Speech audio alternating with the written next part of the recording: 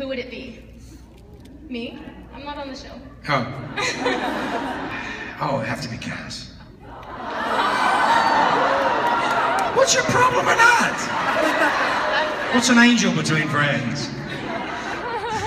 Yeah, Castiel, Castiel, Castiel, Misha, Misha, Misha. I need to sign those. I forgot. Um, so, what's the question? Done? Yep. Who'd I kill? Misha. Easy. Next.